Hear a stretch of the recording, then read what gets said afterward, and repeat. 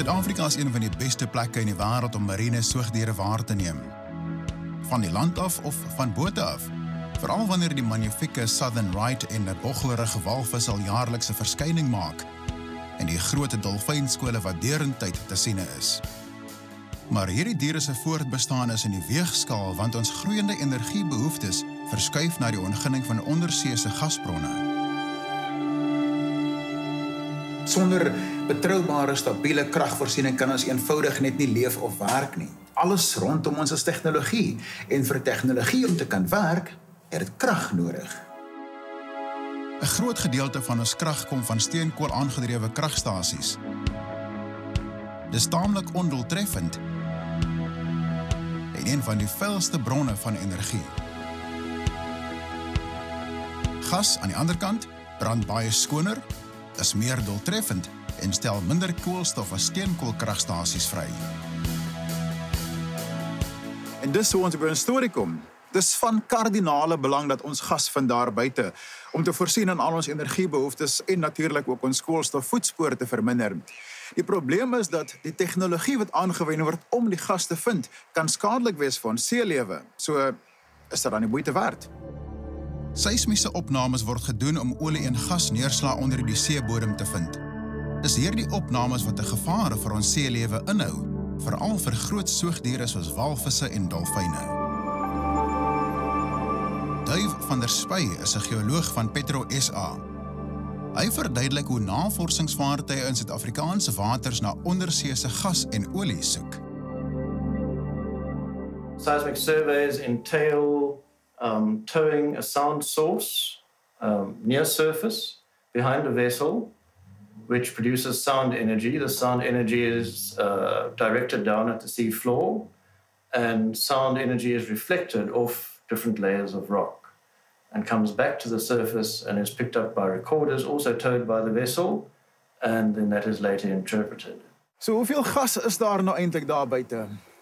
En is dit die moeite werd as mense in ag neem die moontlike skade aan hy seelewe? We're crossing our fingers that we are going to get some fines like they've done in Mozambique in the Rovuma Basin. And if we can get that, really, it's a lot of progress, a game changer for the country.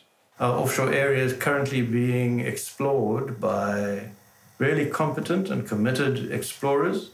And I'm certain within the next year or so, year to two, two three year period, we're going to announce some really good discoveries. As mense nou dink daaraan dat daar wel 'n mate van skade berokken kan word aan seelewe, dink jy dis nog steeds die moeite werd om te eksploreer vir die gas? The effects of this noise pollution, I suppose, that is made in the ocean on marine life is currently quite contentious and uncertain. Ivan Keer, 'n inwoner van Nysna, het met 'n veldtog teen 'n seismiese opnames in die gebied begin. Hy is sterk teen die projekte gekant, veral waar daar nie voldoende navorsing oor die diere se veiligheid gedoen is nie. it is known that it can affect the balance of creatures. It can permanently damage their ability to balance. For example, octopuses no longer can hold themselves upright. We don't know how many fish are deaf or perhaps even infertile. I mean, they're, they're only measuring the creatures that are being killed directly by it. They don't know what the non lethal impacts of these kinds of surveys are.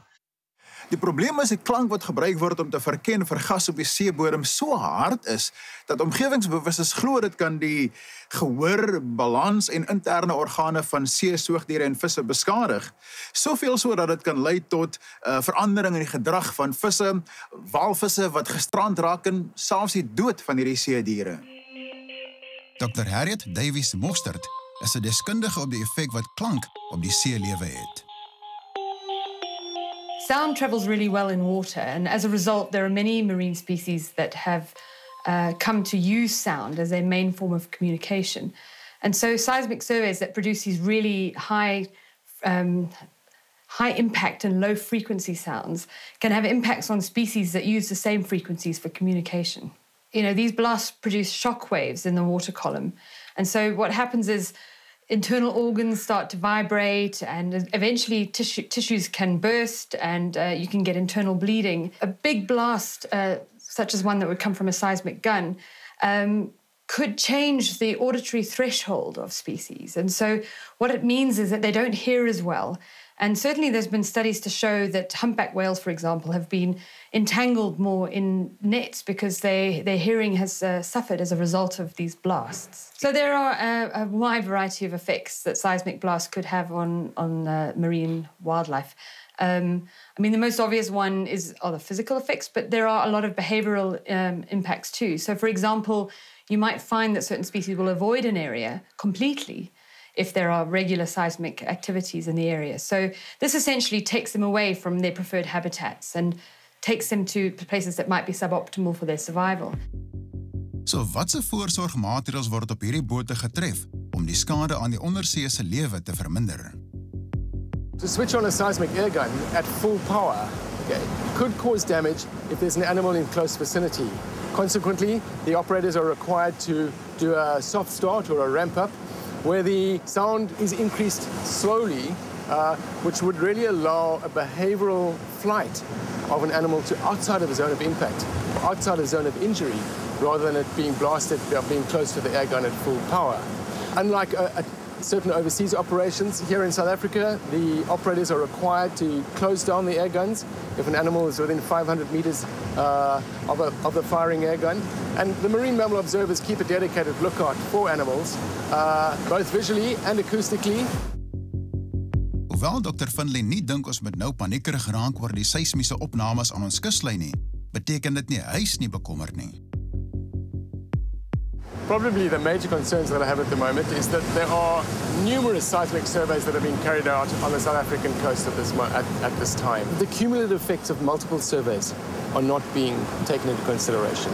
So while much of the concern uh, for the impacts of seismic surveys goes to whales, dolphins and seals, uh, I feel that there are components of the marine fauna, from plankton right through to fish, squid, etc., uh, where some of the concerns are not really well put out. I do feel it's a lot easier to manage impacts on something like a whale that you can see, that you can observe, than many of the other faunal components where it would be difficult to see actually what is happening.